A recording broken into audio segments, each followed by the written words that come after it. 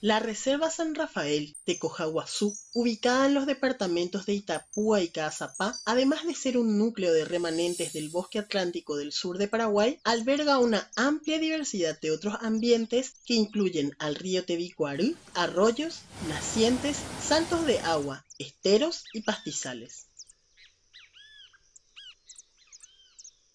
Los pastizales conforman un bioma en el que predominan las plantas herbáceas sobre suelos limo-arcillosos, con arbustos y árboles dispersos o formando isletas boscosas.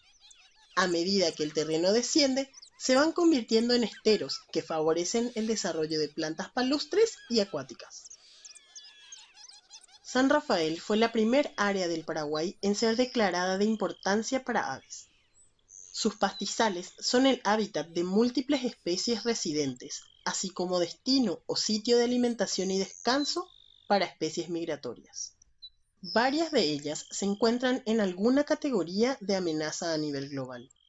Es el caso del Xopisagyu, que fuera abundante en todo el bioma pampa, pero la destrucción de su hábitat ha hecho declinar sus poblaciones drásticamente. Hoy sobreviven algunas bandadas en el cono sur y aún es posible avistarlos en las inmediaciones de la estación Kangaroo, donde se alimenta y anida. A veces forman bandadas mixtas junto con el chopiestero y otros tordos. En su misma familia podemos encontrarnos con el pecho colorado, que canta sujetándose en la punta de los pastos y ramas, mientras que en la vegetación del estero se balancea el federal. Quebrando las semillas de las espigas con sus robustos picos, es posible observar a varios miembros del género Sporophila, como el corbatita común y el capuchino de boina negra. Escondido en la hierba, nos cuesta enfocar al diminuto tachuricoludo, una especie también vulnerable. Por encima, con ágiles movimientos, el yetapa grande sobrevuela los pastizales capturando y comiendo insectos. Al final del invierno, llegan a San Rafael viajeros de distantes lugares, como la tijereta, que alegra el paisaje con su acrobático vuelo. En la misma época, aparece en el campo una manchita roja. Se trata del churrinche, que desde una percha se lanza al aire para volver con un bichito en el pico. La hembra, más discreta en su plumaje, consigue hacerse menos visible que el macho. Tiránidos como ellos son el suiriri real, que también captura a sus presas en el aire, y el oportunista pitohue, residente permanente, capaz de alimentarse de todo tipo de invertebrados, anfibios, reptiles, incluso peces, complementándolos con frutas. Un poco más oculto se ubica el pitohue rayado.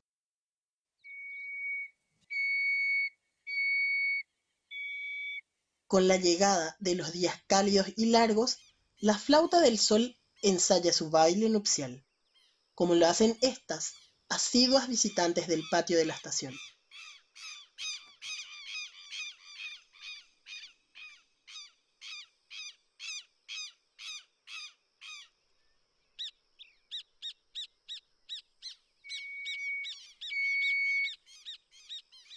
Cerquita de ellas, los teros se mantienen alerta ante cualquier movimiento extraño. Los aviás y zorzales extraen lombrices del suelo. El bendito sea forrajea. Y el hornero o aloncito festeja la llegada de la lluvia que producirá el barro con el que construir su complejo y eficiente nido.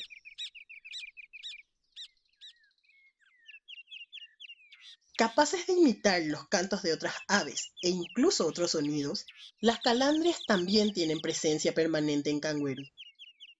Lo mismo que el caballerizo, que corretea en el pasto y sube al lomo del ganado brindándole sus servicios de control de mosquitos y parásitos. Pero es importante que todos estén atentos, porque allí mismo también pasa el día el chimango, un depredador del que muchas aves se defienden e incluso atacan para alejarlo de sus nidos. De manera similar ocurre con el carancho. el milano y el águila colorada, entre otras rapaces.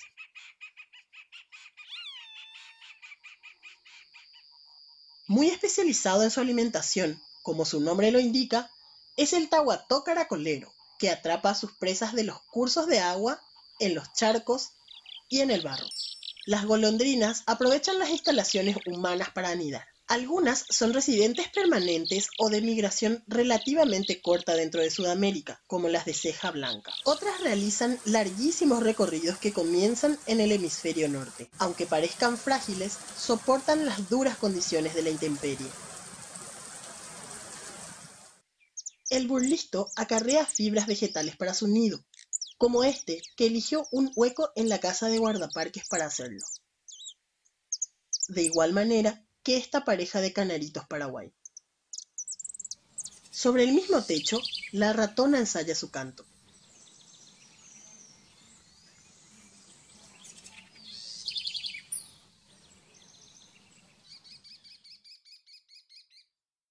En cambio, esta pareja de halconcitos prefirió la estructura de este cartel de la reserva, próximo al río Tebicuero.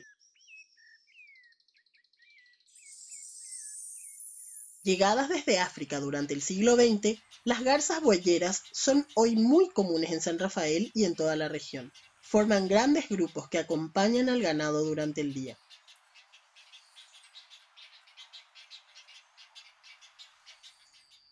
Diversos colibríes liban flores y acarrean insectos para sus pichones en tiempo de cría. Esperando junto al estero en el amanecer, avistamos al picaflor esmeralda, que defiende sus fuentes de néctar, como todos en su familia. Abundante es la presencia del verdón en cada recorrida entre los pastos. Activo de igual modo es el coludo grande, con su llamado audible casi permanentemente.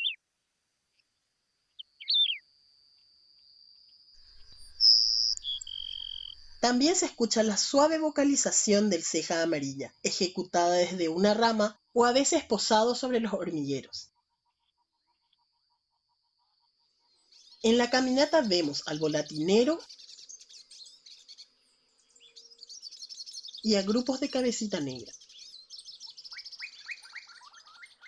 Ruidosos grupos de carpinteros campestres remueven cortezas y tierra en busca de invertebrados.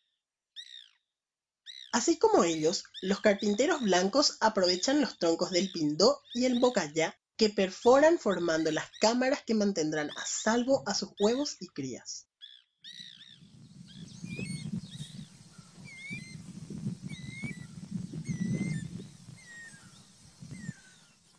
El canto de la piririta es inconfundible. Forma bandadas de varios individuos,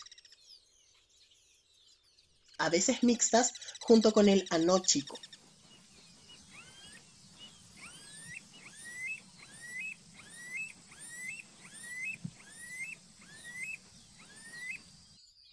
A orillas de los espejos de agua abundan las jacanas, que valiéndose de sus largos dedos, caminan sobre la vegetación flotante. También ese es el lugar de la polla de agua,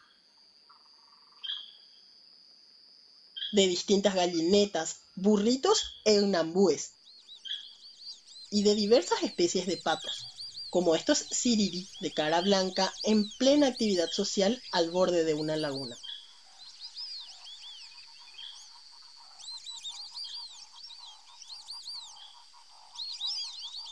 Con sus patas largas y su especializado pico, vemos los elegantes movimientos del tero real, que consume insectos acuáticos, crustáceos, gusanos y pequeños peces.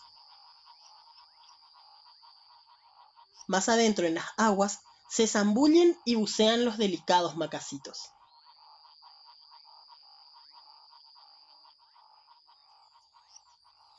Encargados de la limpieza, los cuervos desde el vuelo o desde sus perchas identifican los despojos de animales muertos. Son carroñeros. Ocultos entre los pastos descansan aves nocturnas o crepusculares, como el ñacundá y el curiango, que resulta más fácil encontrar al anochecer sobre los caminos. Para esa misma hora, despierta y abandona su total quietud el urutaú, a la orilla del bosque.